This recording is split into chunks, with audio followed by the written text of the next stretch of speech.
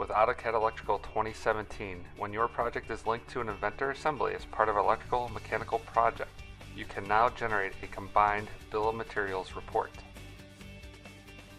This option is included both on schematic and panel bill of materials.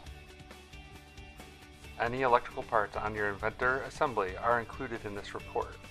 The source column in a report will indicate whether the component is from AutoCAD Electrical, Inventor, or linked to represent both. The report format file setup also includes the Inventor parts options for both panel and schematic BOM reporting. Using automatic reports with pre-configured report setup files allows you to quickly create a detailed list of all your electrical components.